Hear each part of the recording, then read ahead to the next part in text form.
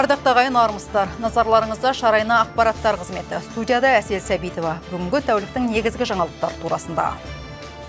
Біреу жеңілдікпен үй алып жалға беріп құтырса, өзге біреу жылдап кезек күтіп баспанаға зар болуда. Жеңілдікпен берілген пәтерлер тексеріледі. Жеңіс саябағында Ауғанстандағы жауынгерлік операциялар кезінде қаза тапқан батырларға арналып ескерткіш тұрғызылды. Астана өңірлік қолбасшылығына қарасты 85-те 510 әскери бөлімінде сарбаздың қызметі аналар көзімен акциялық шарасы ұйымдастырылды. Біреу үшін орын арнайы тазартылды. Язев пен құрылысшылар көшесінің қиылысындағы барлық шағын сауда орындары тазартылып, көркейту жасалады делінген. Кейін анықталғандай, бір жыл уақыт өтпестен сол маңда құрылыс жұмыстары басталған. Тұрғындар мен кәсіпкерлердің пікірін біздің түсірілім тобымыз тыңдап қайтты.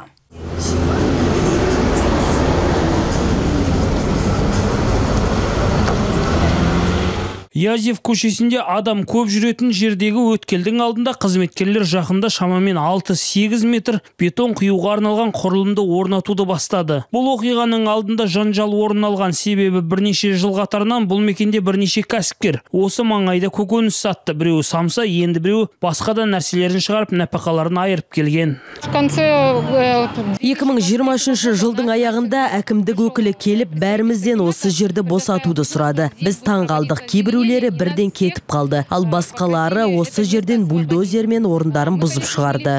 София тіпті жер учаскесін сатып алғысы келетіндігін айтып хат жазды, бірақ үзілді кесілді бас тартылды. Ресми жауапта Қарағанды қаласының бас жоспарына сәйкес аумақ абаттандыруға арналған атап өтілді. Бұл жерде аукционға қоюға болмайтынын білдіреді.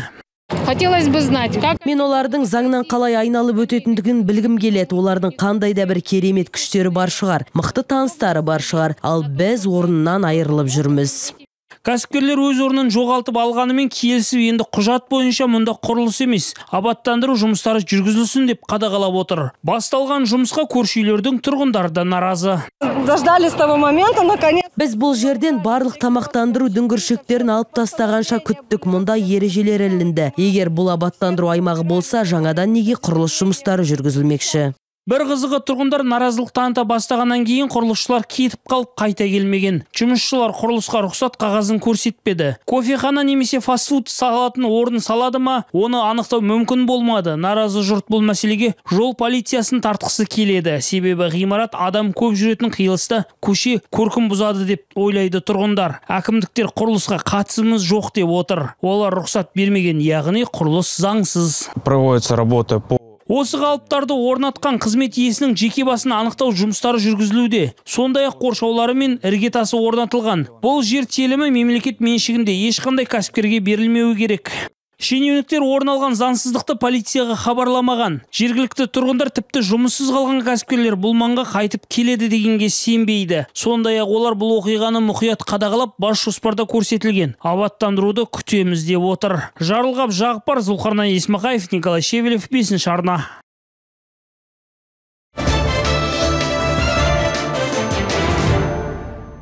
Қазақстан Республикасы орталық референдум комиссиясының төрағасы Нұрлан Әбдіров Қарағандыда. 6 қазандағы маңызды оқиғаны өткізу мәселелері бойынша семинар кеңес өтті. Бұл жиынның барысында комиссия мүшелерін оқыту туралы айтылды. Әріптесім Дидар Қалқатай тарқатады. Алтыншы қазан атом электр станциясын салу жөнінде референдум өтет айта кету керек. Бұл ел тарихындағы үшінші референдум болмақ. Атом электр станциясын салу мәжілісте де, әлеуметтік желілерде де талқыға түскен түйткілді мәселе. Орталық референдум комиссиясының өкілдері Қазақстан Республикасының 20 өңірінде жұмыстарын бастап кетті. Маңғыстау, Ұлытау, Алматы облыстарында таныстыру бастау алды. Енді өкінішке орай көктемде болған су тасқынынан жардап шеккен ауылдар мекенжайлар баршылық. Соларды мен өз басым әріптестерім де аралап сол жердегі бүлінген учаскелердің жөндеу жұмыстары аяқталды ма? Немесе енді жөндеу созылып баратса оны басқа учаскелерге ауыстыру басқа мекенжайларға ауыстыру. Мен өзім мысалы атырауда құлсарыға оралда мысалы подстепное селосында болдым. Олар енді толық судың астына судың астында болды да бірсыпыра учаскелер бүлінді. Жалпы ел бойынша 10 мыңнан астам дауыс беру жерлері бекітілді. Оның 650-і қарағанды облысында. Осы ретте қазақстан республикасы орталық референдум комиссиясының төрағасы нұрлан әбдіров комиссия мүшелерін оқыту жүргізілетіндігін айтты. Оған қоса бұл оқытудың маңыздылығына баса назар аударылады. Бүгінгі біздің істеп жатқан тіршіліктердің ішінде ең маңыздылары. Ол комиссия мүшелерін оқыту. Өйткені маусым айында парламент өзінің өткен сессиясының аяғында депутаттардың бастамашылығымен бірсыпыра біздің референдум туралы конституциялық заңымызға енгізген өзгерістерді соған соны мақұлдады. Президент қолын қойды. 17 шілдеде ол өзгерістер өз күшіне енді. Енді осы жаңғырған заң туралы тиісті сабақты тиісті семинарларды өткізу керек. Мүгедектігі бар адамдардың жағдайлары да барынша жасалған. Енді қоларбамен жүретіндері бар. Үйде дауыс беретіндері бар. Сонымен қатар көздері көрмейтіндері бар. Осыған байланысты біз көзге көрмейтіндерге арнап біз трафареттер дайындадық. Мысалы оның ішінде жаппай трафареттер әрбір учаскеде он мың он мың үш жүзге жуық учаскелердің бәрі қамтылады. Сонымен қатар брайль әрпін танитындар. Олардың әрбіреуіне арнайы біз трафарет орталықтан дайындадық. Оларды таратамыз. Бүгін мысалы бізде кей облыста бір облыстар бар жеті адам мысалы шраев брайль шрифтін танитын қарағанды облысында бірсыпыра адамдар бар екен танитын мен ол қуантты мысалы Қарағанды облысында комиссияға мүше болып 4440 адам тағайындалды. Бұл адамдар референдумның әділ әрі келеңсіздіксіз өтуін қадағалайтын болады. Дидар Қалқатай Шалқар Алтынбек Ирина Ненашева 5 арна. Атом электр станциясын салу туралы түсіндірме жұмыстарын жүргізу мақсатында Сенат депутаты Сергей Ершов өңірлерге іс сапар аясында Қарағанды гарнизонына қарасты әскери бөлімдерді аралап, әскердің әлеуетімен танысты, әскерилердің ұсыныстары мен шағымдарын тыңдады. Депутат өзгеріс енгізу еліміздің өркениетті елдер қатарында көш бастауына мүмкіндік береді деген пікірде.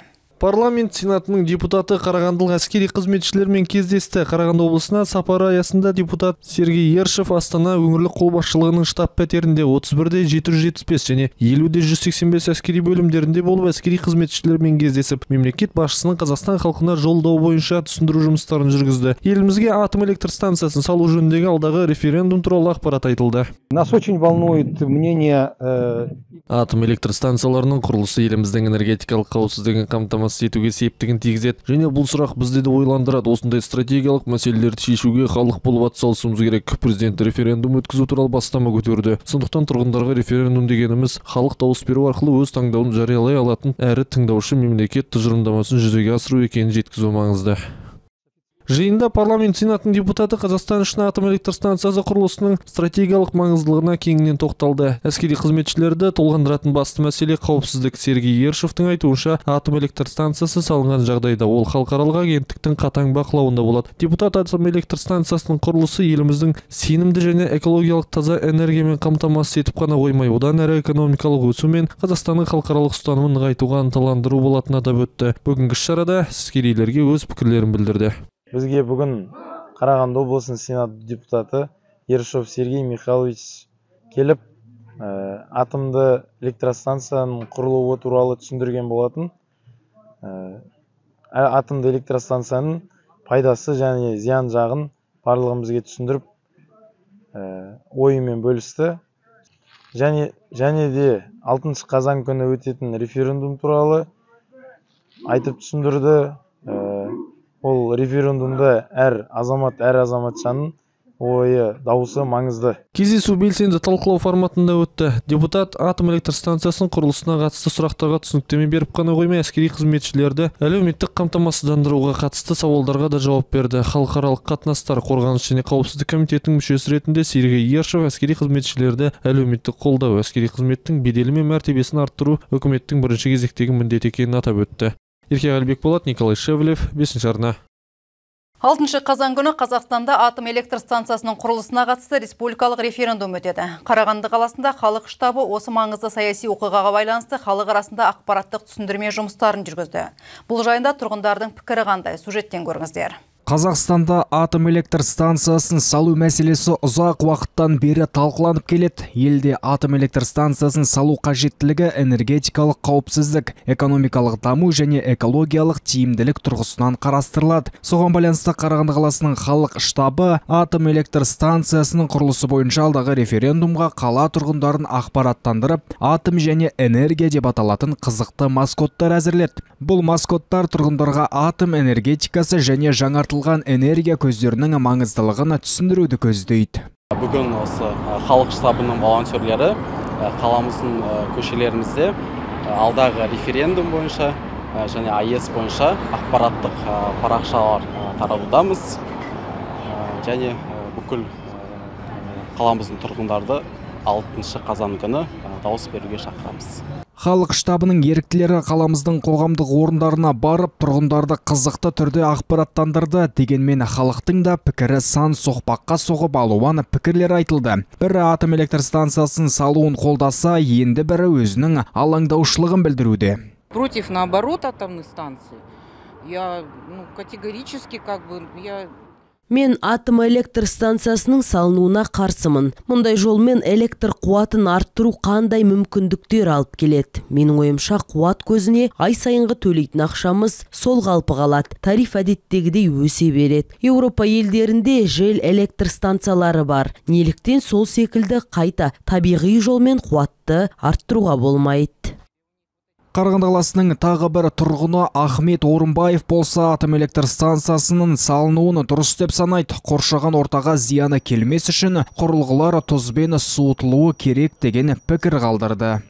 Ядерный энергетикаға қарсы емеспін. Бірақ та ол егерде ториймен істелетін болса. Тори қазіргі ең соңғы жаңалықтар бұл ас тұзымен жаңағы не қылып отырыпты суытылады сумен емес География ғылымдарының кандидаты аға оқытушы Айсұлу Құсайынова атом электр станциясы салудың энергетикалық қауіпсіздік пен экология тұрғысынан тиімді шешім болатынын атап өтті. Ғылыми дәлелдерге сүйене отырып атом электр станциясының маңызын түсіну қажет деп есептейді. атомдық электр станциясын қазақстанда салу қауіпсіз деп табылады. Дамыған елдермен салыстыратын болсақ қытайда түркияда және де ресейде оңтүстік корея елдерінде қазіргі кезде атомдық электр станциялары көптеп салынып жатыр. Атомдық электр станциясының көмір тұтынатын жылу электр станциясының айырмашылығы экономикалық жағынан экологиялық жағынан тиімді болып табылады. Өйткені атом электр станцияның санитарлық қорғау аймағы 3 километрден аспайды. Атом электр станциясын салу мәселесі қазақстан үшін маңызды әрі жауапты шешімдердің бірі болып қала бермек. Референдум нәтижесі қазақстанның энергетикалық болашағын айқындауда маңызды рөл атқарады. Диас Елемеш, Шалқар Алтынбеков, Николай Шевелев, бесінші арна.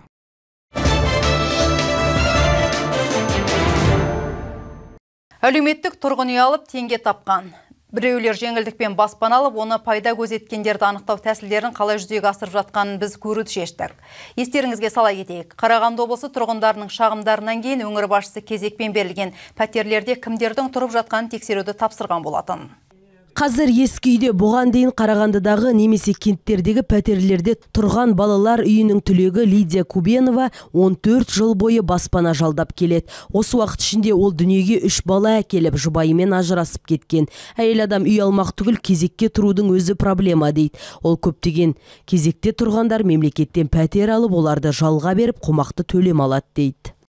Я знаю, тут много кто получил и несправедливо. Мен білем, мұнда көптеген адамдар бар және әділетсіз неге біреуге пәтер беріледі. Бізде бір жылдан кейін үй берілген адамдар бар. Неліктен мен 14 жыл кезекте тұрым керек. Менің үш балам бар. Мен оларды тамақтандырум керек. Балаларымды апаратын жерім жоқ. Қарағанды облысының әкімі аппараттық кеңесте күтпеген мәселені көтерді және қарамағындағыларға кезекте тұрғандарға берілген барлық тұрғын үйді қайта тексеруді тапсырды.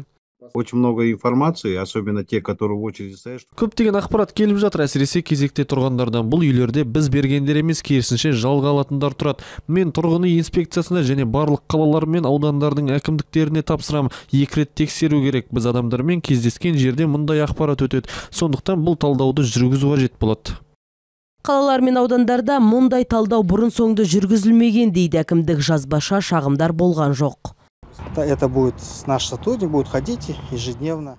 біздің адамдар күнделікті барып тексереді актілер жасайды. Егер алған және тапсырған адамдар анықталса біз соған сәйкес жауап береміз және сот органдары арқылы үйден шығуға талап арыз беріледі. Егер адам шынымен тапсыратыны дәлелденсе. Дәлелдеу қиын болады әкімдіктермен келісеміз. Сонымен қатар қарағанды тұрғын үй инспекциясында барлығы бес қызметкер бар. Бүгінгі таңда кезекте 20 мыңнан астам адам тұр. Биыл бюджеттен 400-ден астам кезекте тұрғандарға пәтер сатып алуға ақша бөлінді бірақ олар тек сатып алу құқығынсыз беріледі. Дидар қалқатай ирина ненашева бесінші арна. Тамақтан улану шек инфекциялары халыққа үлкен қауіп төндіретіні сөзсіз. Өңірлік коммуникациялар қызмет алаңында жедел шек инфекцияларының алдын алу, азық түлікті сақтау және дайындаудағы сақтық шараларын ұстану талаптар айтылды. Диалог алаңында облыстық санитариялық эпидемиологиялық бақылау департаментінің өкілдері тамақтан улану ішек инфекциясының топтық аурулары әлі күнге дейін тұрғындар үшін қауіп төндіретінін айтты. Жедел ішек инфекцияларының ботулизмнің және ерсиниоздың алдын алу үшін қарапайым тазалық шараларын сақтаумен қоса тек сапалы өнімді қолданып тамақ даярлауда қатаң өндірістік бақылауды жүргізу қажет. Ас ауқат даярлау ісіне қатысатын қызметкерлер де санитариялық эпидемиологиялық талаптарды мүлтіксіз орындауы тиіс деді. қоғамдық тамақтану объектілерінің қызметкерлері заңнамада белгіленген тәртіппен мерзімді медициналық тексеруден гигиеналық оқытудан өтуге және гигиена ережелерін сақтауға міндетті ішек жұмысы бұзылуының белгілері бар. Сондай ақ қолында жаралары мен іріндері бар қызметкерлер жұмысқа жіберілмейді. Қолданыстағы заңнама талаптарына сәйкес қоғамдық тамақтандыру орындары сан эпидемиологиялық қорытынды тиісті актілер болған кезде ғана өз қызметін жүзеге асыруы шарт. Санэпид қорытындысыз ол объектілер жұмысы заңсыз деп танылады. Тағы бір айтары білім беру нысандарында ұжымдық тамақтандыру қызметін ұсынатындар кейбір тағам түрлерін әзірлемеуі керек. Мектеп оқушылардың тамақтандыру ұйымдастыру кезінде флоттық макарон фаршмак желе паста фаршталған құймақ күрделі төрт компоненттен астам ә, салаттар майонез және қаймақ қосылған салаттар окрошка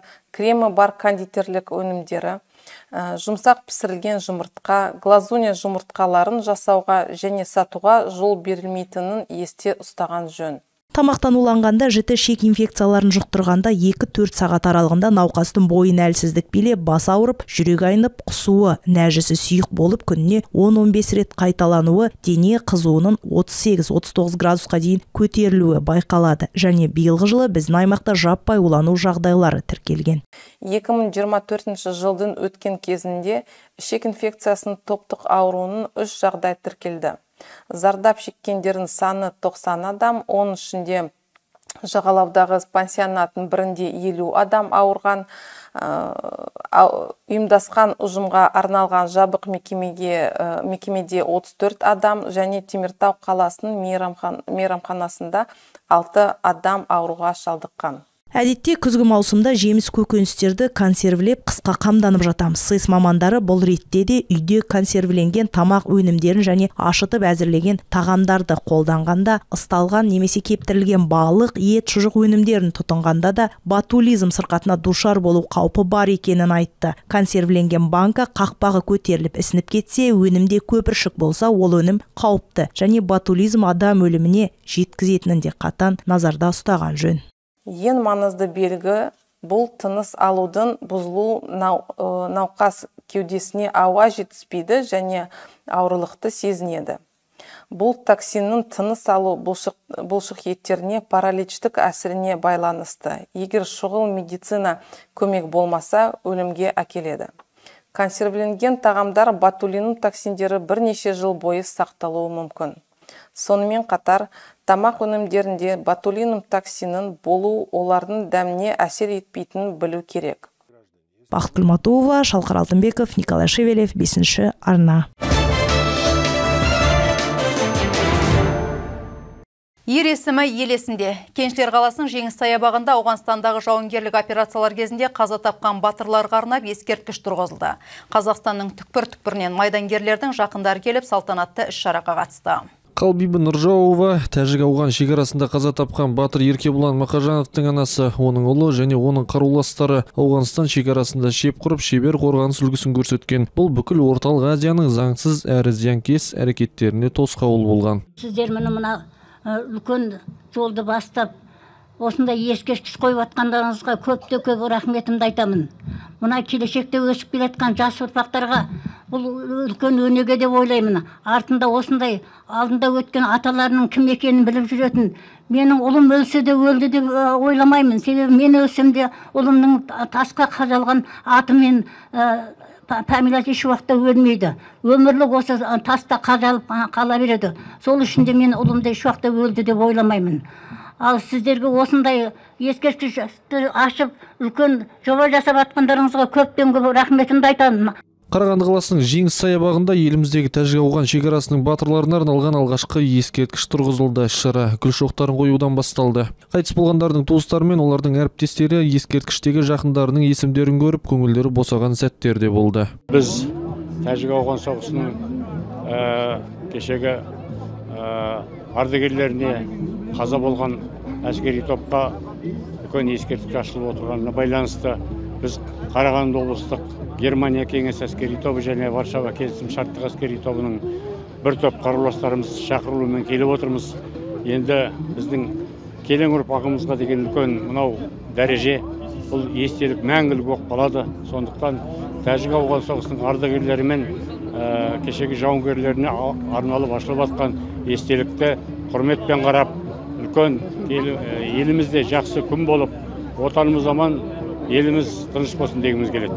Ауғанстан шекарасындағы соғыс кезінде 635 мың адамның 46-сы қаза тауып жүзден астамы әртүрлі дәрежеде жарақат алды. Бейбіт өмірге жету жолында басын бәйгеге тіккен батырларымыздың еңбегі келешек ұрпаққа үлгі. Қалалық мәслихат депутаты сондай ақ шекара ардагері шәкіржан құлжанбековтың айтуынша ескерткіш қала және облыс әкімдерінің қолдауымен салынған. Жалпы қазақстанның бүкіл түкпір түкпірінен көп ардагерлер келді. Оның ішінде жаңағы шымкент алматы қарағанды тараз ұлытау астана атырау ақтау жан жақтан өте көп ардагерлер келіп жатыр.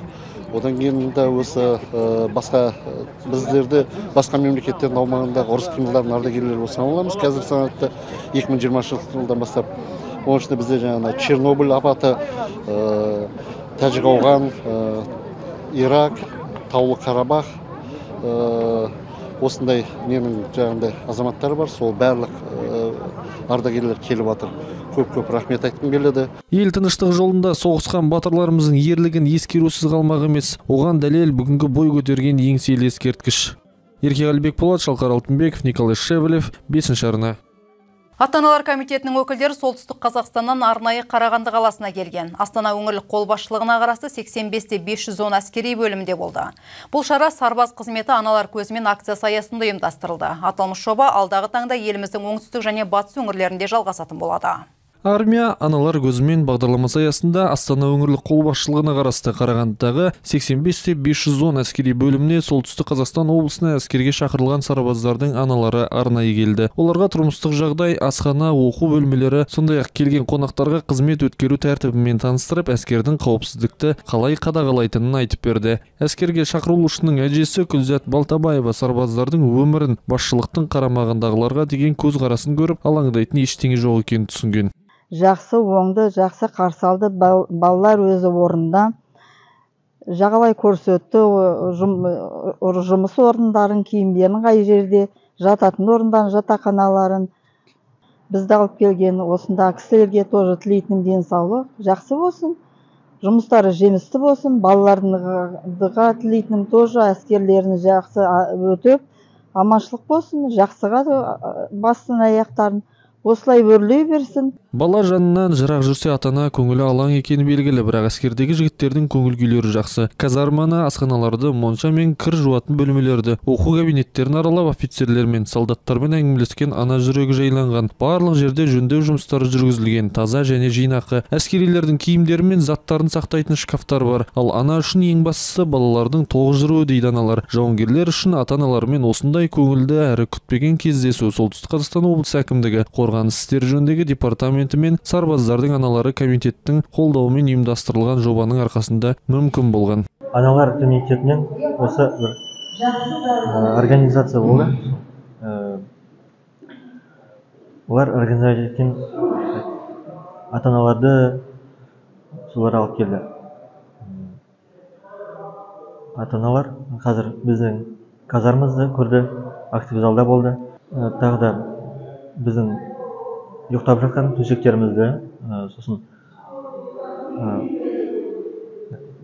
кітап оқитын бөлмелерді көрді ата ананың ұлдарына алаңдамау үшін армия аналар көзімен бағдарламасын тұрақты түрде өткізу жоспарланып отыр. Жас сарбаздар қызмет ететін еліміздің оңтүстік және батыс өңірлерінде сапарлар жоспарланған дейді жоба жетекшісі тимур әлжанов өз жоспарларымен бөліскен кезде. Әскери бөлімді аралап шыққаннан кейін ата аналар сарбаздарға үйден әкелген тәттілермен бөлісті. Ал ата анасы келе алмағандарына бейне қоңырау арқылы байланысуға мүмкіндік берілді. Еркеғали бекболат николай шевелев бесінші арна.